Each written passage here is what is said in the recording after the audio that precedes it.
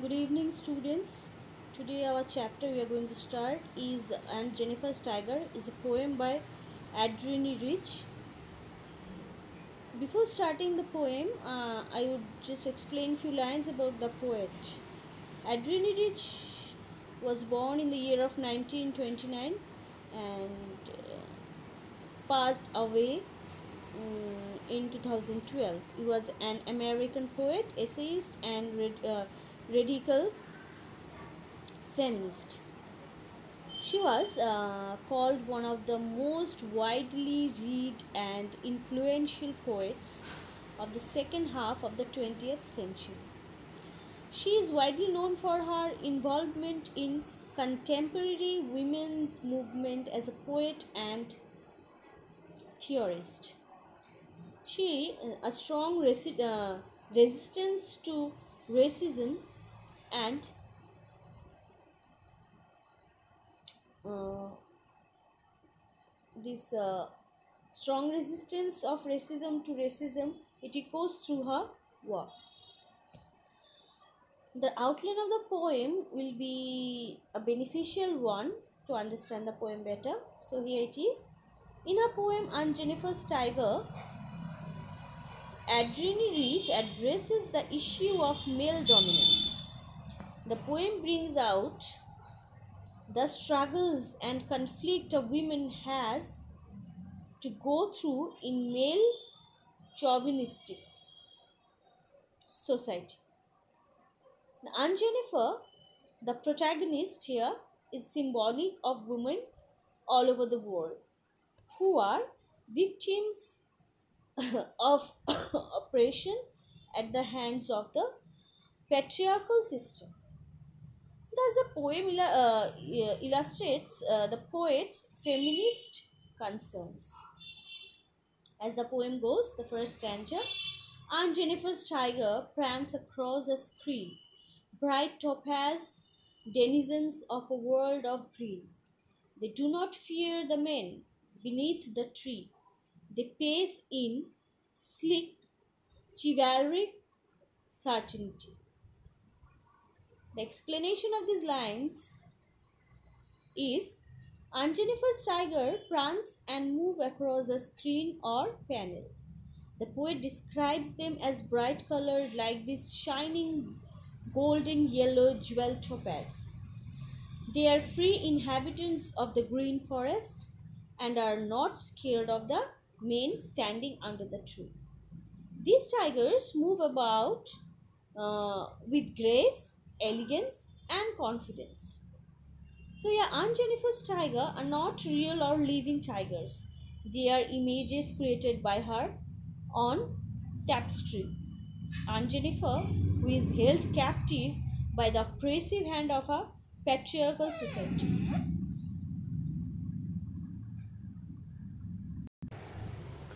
So here, Aunt Jennifer, who is held captive by the oppressive hand of a patriarchal society, creates in her art an alternate world of freedom. Here, her tigers are free. Here, her tigers are not caged. The tigers represent her dreams, her desire to be free from constant fear and oppression that govern her life. These majestic and fearless tigers also present a sharp contrast to Aunt Jennifer herself, who is bound by the constraints of married life. So, here she has created her own imagination with through her own imagination the tigers who are fearless. But in in the real in her real life she was uh, like like a caged tiger. So she wanted to uh, express her desire uh, the desire of her life through her creation. Stanza 2 is Aunt Jennifer's fingers fluttering through her wool find even the ivory needle hard to pull the massive weight of uncle's wedding band sits heavily upon Aunt Jennifer's hand. In the second stanza, Aunt Jennifer appears to be creating beautiful images of the tigers by using wool. But she finds it quite hard to pull even the ivory needles. She is so terrorized and tortured that she is unable to carry the weight of the wool. Her fingers flutter. The uncle's wedding band seems heavy on her hand. It suggests that she feels burdened with her marital responsibilities. Through this stanza, the poet wants to convey the fact that a woman throughout her lifetime works to glorify the tiger, that is, her husband. But she feels so much subjugated that the marital bond becomes a burden on her. This is also the reality of Aunt Life. Stanza 3 When Aunt is dead, her terrified hands will lie, still ringed with orders she was mastered by. The tigers in the panel that she made will go on prancing, proud and unafraid. The final stanza reveals a sad truth. The poet says that even death will not be able to release Aunt Jennifer from the trauma she had to undergo during her lifetime. Her life will be a story of her ordeals and the operation that she was subjected to. However, the tiger created by her, by, by her will be eternal. They will always be proud and unafraid.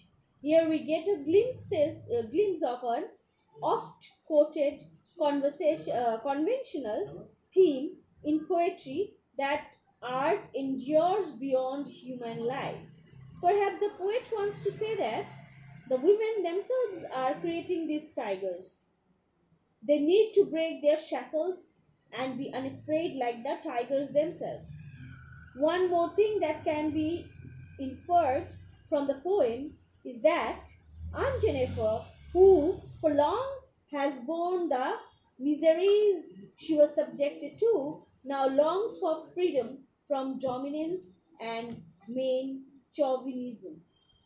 So, uh, what is the objective of this poem? the objective of this poem is here women uh, apart uh, women uh, uh of our society uh, are themselves responsible for their miseries so uh, the aunt jennifer here wanted to show wanted to show her um, desire to be free through the creation of her tigers. And the the, the problems the uh, problems she has faced throughout her life she wants to get free. She wants to get free. She wanted to be free from that cage and she also the poetess has also said that we women are responsible for our miseries. Now this is the time to break the shackle of this misery and to uh, live a free life.